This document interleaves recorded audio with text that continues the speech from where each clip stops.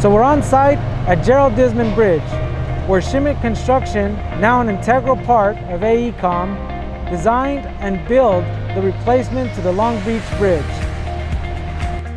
Some of the unique challenges of this project was the scheduling and moisture content within the concrete. Working with our technical service department, the specifier specified our PC-FMB vapor barrier, along with our Poly-I-Gard 575 FC. That is a two-component, zero VOC, polyurethane-based waterproofing system. It's used for its fast cure and low odor.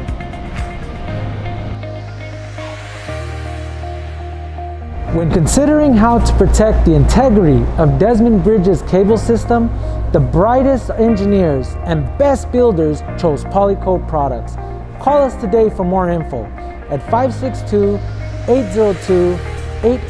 562-802-8834 and visit our website at polycoatusa.com. And thank you for supporting American manufacturing. All of our products are manufactured here in the USA.